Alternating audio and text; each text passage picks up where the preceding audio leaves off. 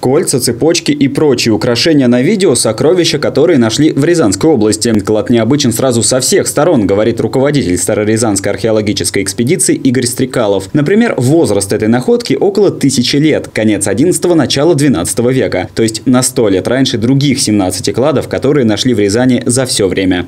Состав находок отличается, естественно, состав вещей. Это не э, какие-то изящные элитные украшения. А, это вещи попроще, но тем не менее достаточно красивые, хорошо весящие, в том числе и денежные слитки.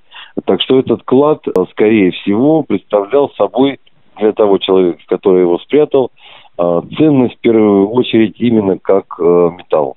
Сам же клад – находка случайная. Его обнаружил местный житель недалеко от зоны раскопок, во враге, на небольшой глубине. Коллекцию украшений передали экспедиции. Потом зону исследовали еще раз, но о других находках пока не сообщали. Сам же клад представляет ценность все-таки больше с археологической точки зрения, чем с денежной. Игорь Стрекалов рассказал, что находка может не только ответить на существующие вопросы об истории Рязани, но и задать новые. Клад который, э, по нашему предположению, располагался недалеко от древней дороги, которая соединяла город с его дальней пристанью, располагавшейся около современного села Исады, позволяет нам найти еще дополнительный аргумент в пользу того, что эта дорога действительно существовала и что она а, в тот момент уже использовалась жителями Рязани и людьми, а, которые прибывали в город. Находка позволит ответить и на другие вопросы, как развивалось ювелирное дело и в Старой Рязани, и во всей Древней Руси в целом. Пока что это самый старинный клад, найденный в регионе. Экспедиция у нас ежегодно работает э, в июле-августе, э, то есть в летние месяцы. Э, вот в Старорязани у нас здесь археологическая база,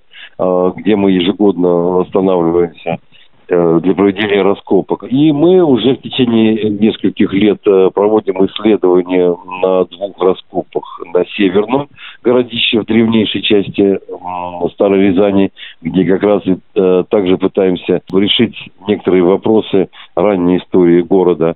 А также э, второй раскоп на южном городище, э, городище эпохи столичного периода истории Старой Рязани. А еще, по словам Игоря Стрекалова, в этом сезоне львиная доля находок – это стрелы. И впервые обнаружен наконечник арбалетного болта. Известно, что арбалеты были на вооружении у рязанцев, однако фактически их никто не находил. Другая находка – производственное сооружение, которое только предстоит изучить. Валерий Седов, телекомпания «Город».